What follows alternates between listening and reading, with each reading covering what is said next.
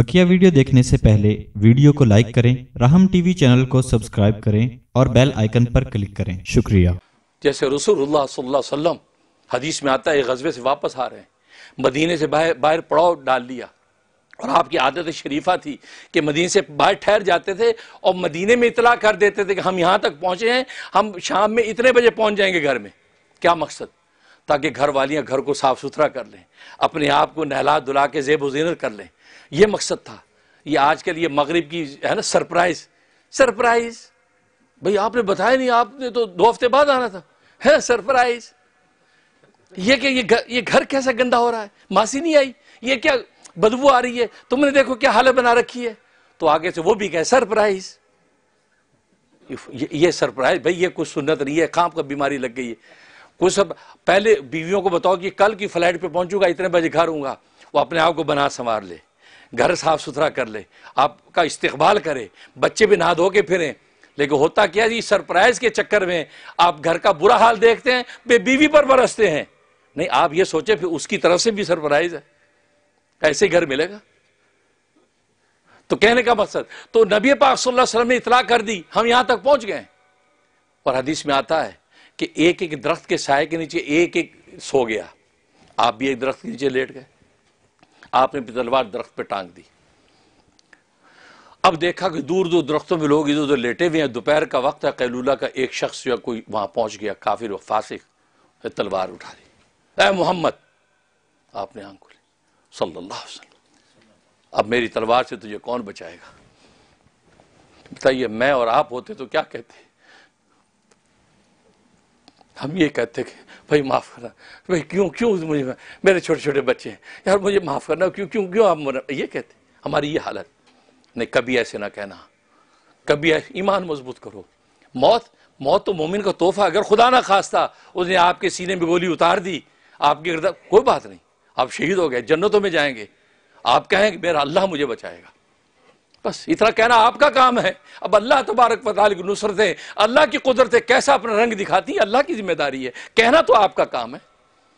जैसे मरियम सलाम को कहा था, दर्द की तकलीफ़ है, और तनावर दरख्त को कहा कि मरियम हुसी इले की बिज़ी नखलत अली की रुतबन जनिया ए मरियम, इस दरख्त को हिला। जबकि वो दरख्त कहाँ हिलता, पहलवानों से ना हिले। मरियम कमज़ोर से और दर्द जेह में है।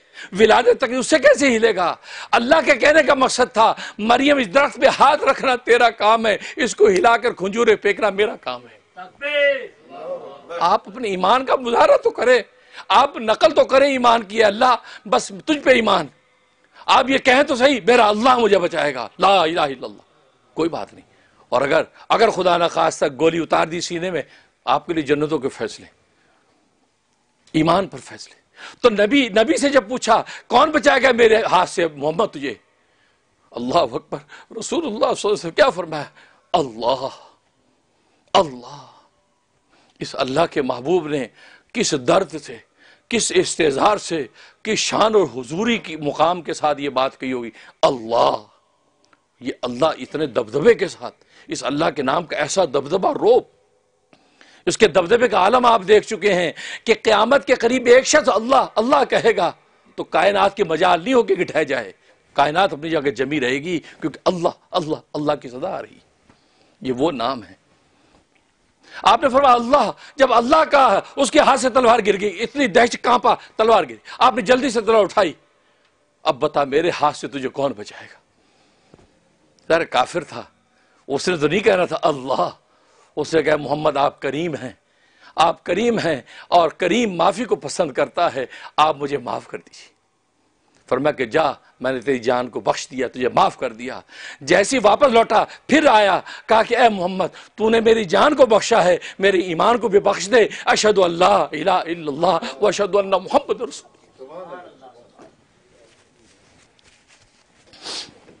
कल मैं ईमान पढ़ के ईमान में दाखिल हो आज काफिर मुसलमान क्यों नहीं होते? मेरा और तेरा ईमान वैसा नहीं है। वो हमें देख के हँसते हैं। ये तो ना नज़र आने ज़ात के सामने सजदे करते हैं और मरते माल पर, दौलत पर, पैसे पे। हमसे ज़्यादा हरीस है।